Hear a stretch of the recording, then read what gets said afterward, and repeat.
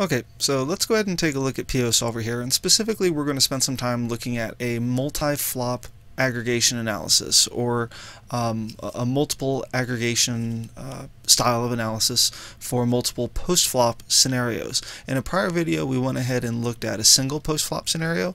Now we're going to be taking the opportunity to um, explore and, and, analyze multiple flops um, and how they affect the ranges, how they affect board composition, lines of play, so on and so forth. So what we're looking at here is the post-flop tree building and calculations tab in PioSolver, specifically the no limit tab.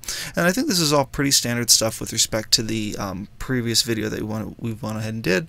We have um, two ranges here. We have an out of position range, we have an in position range, we have a board, a starting pot, effective stacks, and then kind of down here in, in I think what is the, the, the main composition area, we have a whole series of bet sizes that we are working with. Now, uh, in this exact scenario or this exact analysis, we do have a spread limit sizing or spread limit uh, post-flop scenarios that we are looking for here.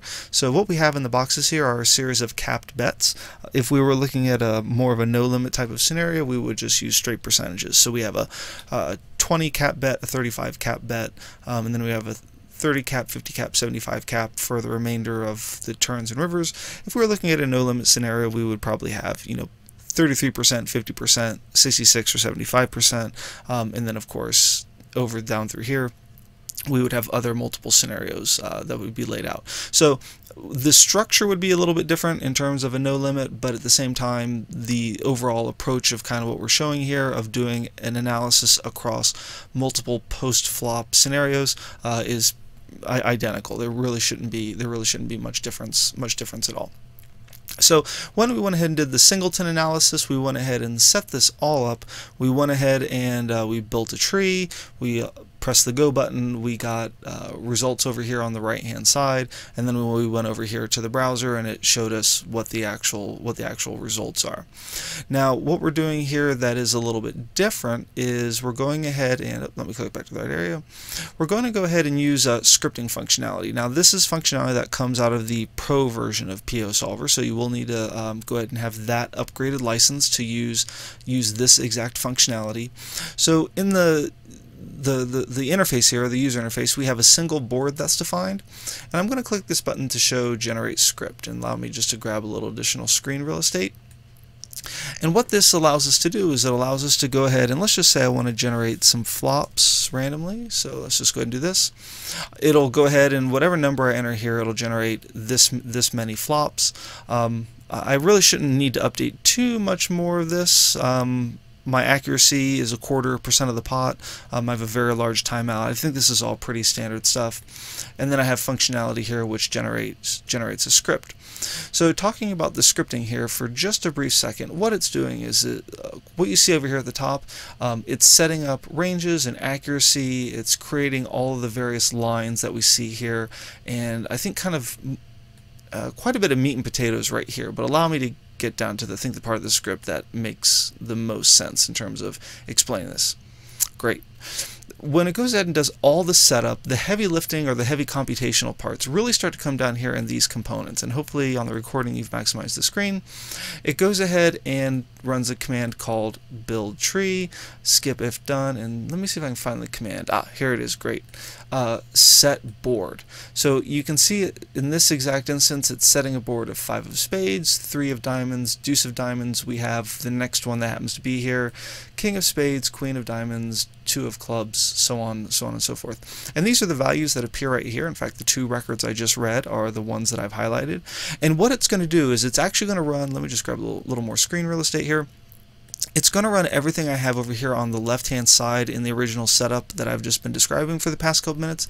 It's going to run this analysis against this exact against this exact flop and it'll generate a specific save file um, and then that save file will contain all the data and the equilibrium strategy uh, for for that exact analysis or that exact that exact flop. So where this comes in handy is once that's done or all of that that work has been processed and everything has been generated, we can go up here to let me just close down this window. We can go up here to analysis and we can select this uh, option right here which is run runouts aggregated frequencies analysis over multiple files. So I'll go ahead and click on this. And what it's done now, now I've already have some already have some setup work here, but I have the solution or the the solution file that's loaded that I'm demonstrating this from comes from a whole set um, of solutions in a directory that's here. And from that directory it says oh I've got a setup file.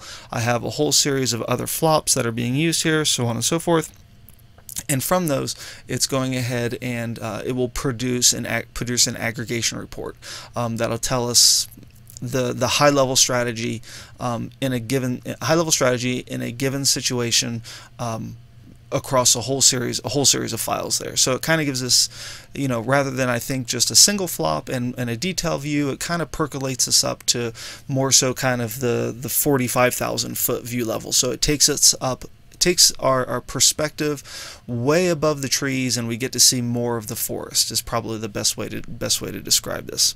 So when I go ahead when I go ahead and run this, um, now I've already ran this for, for an exact instance. Let me go ahead and bring over um, my screen over here. It'll save to the, it'll save to the file system in Excel. So I'll go ahead and I'll go ahead and do this. So with that, what I have here is uh, the actual result from the file.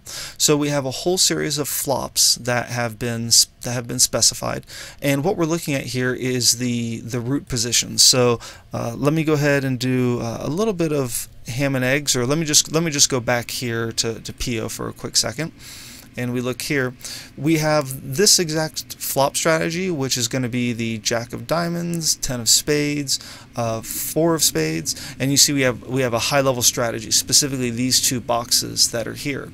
So we have a bet 20 option, and then we have a check. If I go ahead and go back to um, the the aggregation report that's here, you can see we have a bet 20 and a check that's right here. So what we end up doing is we end up going down very common or multiple lines of strategy, and we go ahead and then are able to go and produce an aggregate an aggregate analysis of what we should be doing um, on these given flops, given turns, so on and so forth. And even though I describe this as, you know, the lifting ourselves um, uh, out of the, the top of the forest and, and top of the trees and able to see the kind of the, the whole lay of the forest, the lay of the land, we will be descending back down to the detail and looking at some looking at some detail detail strategy there. So if I go ahead over here, I think I can just actually do something like this. Uh, let me look at data. I want to go ahead and pin this down. Uh, let me just go ahead and do a sort over here.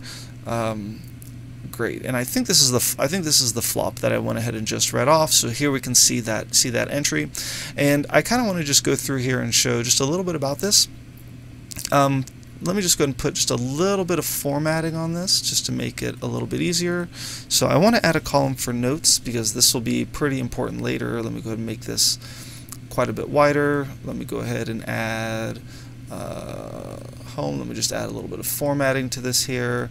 That's great. And then I think it will also be helpful to go ahead and put some formatting uh, down here on our totals.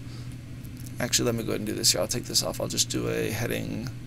Yeah, I'll just do a heading 3 there. I think that looks good. Okay, so I've gone ahead and done a basic sort on this. We can see that all of our 10s, queens, kings, jacks, aces, and now our uh, and then our middle cards are kind of grouped together by how they are, are laid out. So there's a little bit of logical ordering or sorting that goes on here. So what we can do, I think the easiest thing is let me just highlight this right here. I'm going to press Control Q and then give this a color coding. And, and, this is, I think, where the utility of this whole entire process really starts to, to show itself.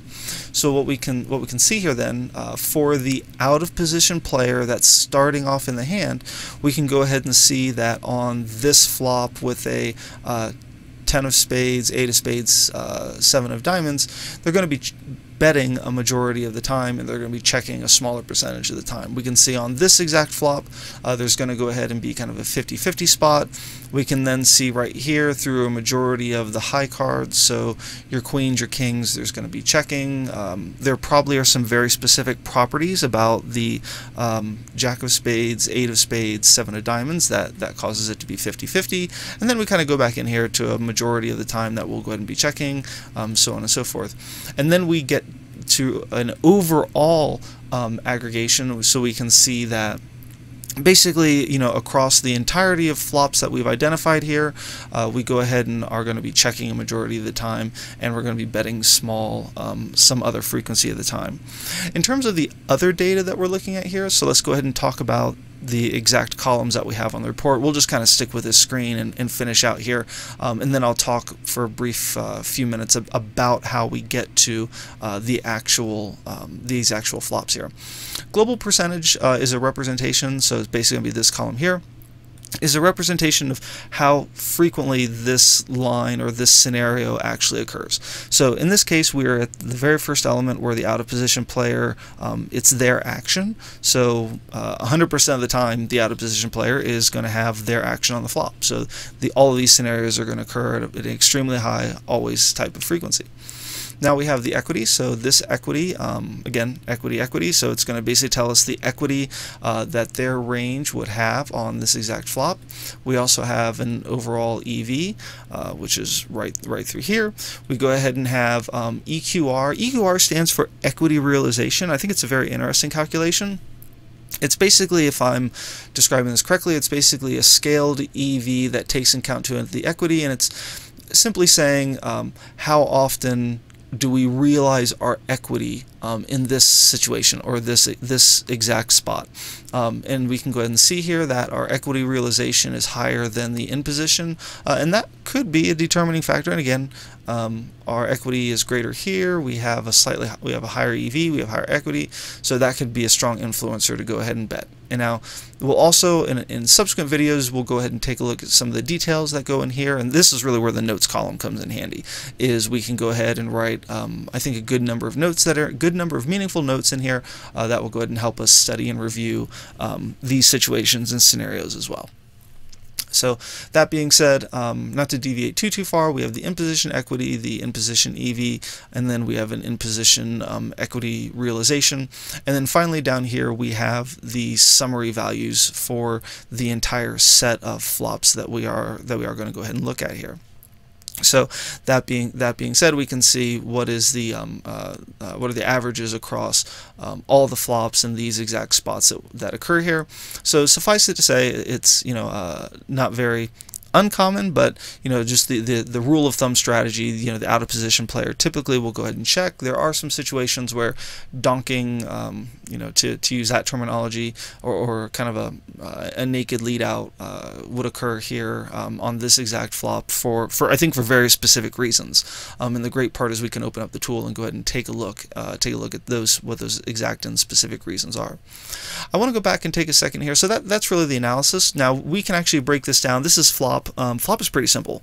Um, it's not really that complex. When we get to turn, uh, turn is actually way more complex because what turn is actually going to do is it's going to take this line here for number five in this flop and it's going to permutate and iterate um, all of the turn cards that come out. So we can take a look at uh, more of kind of the, the aggregated it's still aggregated, but it's the next level of detail down for what happens when an ace comes off, king comes off, so on and so forth. So we can take a look at all of the same details that are there, and you can actually, um, at, a, at a very high, very quick level, go ahead and see what your um, what your strategy, you know, where it kind of leans itself, and where your bets and your checks uh, can go ahead and, and even folds can go ahead and uh, begin to allocate themselves out to. So I want to talk here about uh, how these actual flops are chosen. So I'll just go ahead and highlight highlight this right here. Now the, the tool will go ahead, and we kind of showed this in just a few moments ago, it will go ahead and show that there is the opportunity to create random flops, so on and so forth. Um, but obviously in the PioSolver community and the developers, a great question has come out. Um, what are flops that are worth uh, investigating? What are flops that are worth looking at um, before others, so on and so forth. So if I remember correctly, there's something like 22,000, 21,000 um, possible flop combinations that can occur um, in Texas in Texas Hold'em. It's been determined by the research of others that there are 1,755 that are strategically significant. However, to go ahead and compute the analysis for 1,755 would take quite some time uh, you know not really be it's probably more of a case of information overload in in that exact situation. So the question comes up what are appropriate subsets to go ahead and uh, look at and evaluate?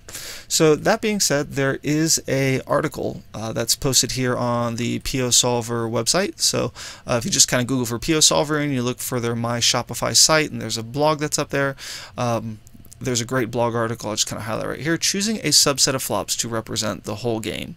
Um, there's obviously a lot of detail here there's a link to a 2 plus 2 article so on and so forth. But really there uh, where this kind of all distills itself down to is the developers of the software have determined this is the appropriate 25 49 74 95 and 184 uh, 184 flop flop flop subsets. Now, we went ahead and looked at um, uh, a previous visualization uh, when we're doing um, uh, kind of the one-off post-flop analysis, where we looked at kind of the the EV or the accuracy um, of the solutions. They've got kind of gone ahead and done that. And you'll actually find this link what I'm what I'm showing you here. Uh, hopefully again if you're watching the video you're watching this in a full screen comparison. But they show you the the 25 flops compared to results on uh, the 1755 equity versus equity versus full range. So up here in the upper left there's going to be the 25 the 49 is going to go ahead and be in the middle here. 74 over here to the right 95 the 184 and then finally there's a comparison for 100 103 will Tipton flop compared against the same uh, 1,755 flops, equity versus full range. So trying to make even comparisons. Now you can see, you know, where there are stronger colorings, there are clear gaps um, on the on the 25 flops. But you can kind of sort of see over here when we get to the 49, 74, 95, and, and especially the 184, the differences are extremely minor. And this 184 probably captures sufficiently uh, the you know the overall strategy or the overall picture uh, that can you know uh, what you should be seeing or evaluating or learning um, from these flops as compared to building out to the entire 1755. So in this case, what I'm showing you here, we are looking at the 25 the, the 25 flops, and in terms of the overall analysis, yeah, there are going to be, uh, you know, some gaps, um, you know, again, and I think you can identify here with the, with the, the, the coloring, but at the same time, it's also a matter of the, the processing time. So when we do go ahead and process a solution, so let me jump back over here to PioSolver. When we do go ahead and process solution, estimate estimate tree size. You know, we have a machine that basically has 128 gigabytes of memory in it, and we're almost using the entirety of that memory. It does take several hours, about six hours, to go ahead and process um, to go ahead and process uh, a, a post-flop solution in its entirety. So in this case, I am using actually two machines that are identical with the same memory setup. So it takes a few days to go ahead and process even just these, uh, just the 25 flops in the manner that we do go ahead and use them. Uh, it kind of just becomes one of those things where it's just, uh, it's going to have to be good enough. The 49 flops, would take a couple more days. The analysis would get a little more in depth in terms of what we're doing or working at working at with on Excel, but otherwise um, uh, you know, I, again, I, th I, think it falls into the good enough category to give you a good overall picture of what you uh, should be doing in given situations and given spots, um, especially as it relates to doing in a, in a, live game. If we were going ahead and developing a, a bot type of solution, then then absolutely, then you would certainly need more detail, greater higher, greater degree of accuracy, so on and so forth. But as it pertains as it pertains to live play, um, I don't think that I don't think there's any problem or concern with going ahead and using uh, using this and, and, what we see here and the, the approach taken. So this is how we're going to go ahead and do um, the evaluation of multiple flops. Um, where we kind of go with this next is, is a series of videos where we actually start to uh, build out these spreadsheets in given situations and given spots, and then we go ahead and start breaking them down. So we'll go ahead and take a look at, I'll just be a little bit jumpy, but let's go ahead and take a look at which exact flop we have here. So we have the Jack of Diamonds, Ten of Spades, um, and then we have an 84% check. Let me go back over here to Excel.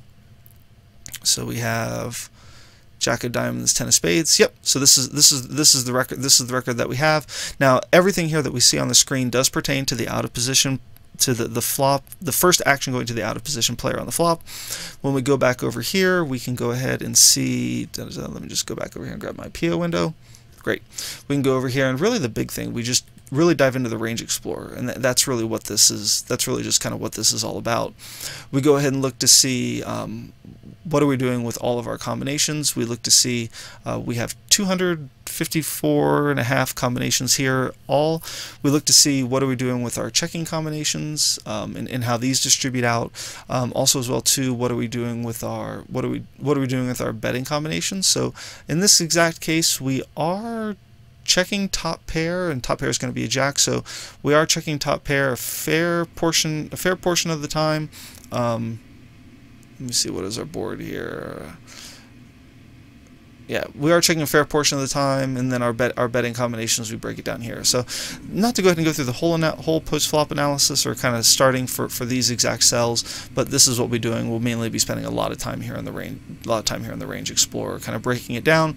Our findings, we'll go ahead and break that out and uh, move those in, over into Excel. So, from a, a note taking or learning perspective, uh, we can go ahead in, into our notes here, and we can go ahead and write, you know, blah blah blah so on and so forth. And then what we can do is, you know, any one of your other online cloud providers like a Google Drive, Google Sheets, Dropbox, um, it's totally handy to go ahead and save those. And then any, anywhere you are at the casino, um, you have time to study or you know a coffee shop whatever uh, you may not have access to Pio and all the solutions that are here available on, on this kind of more server grade machine um, but you can go ahead and have uh, you know again nice easy notes to learn from read review learn and so on and so forth so this is what a multi-flop analysis begins to look like. Um, probably not too interesting um, just in terms of the actual data just because the out of position player is checking a majority of the time. But when we do get into the details um, you know subsequently I think we will have some very interesting findings and very useful strategies and tactics that we can uh, put forward in our uh, live game. Any questions thoughts ideas uh, feel free to reach out. And uh, thanks a lot for watching this. Take care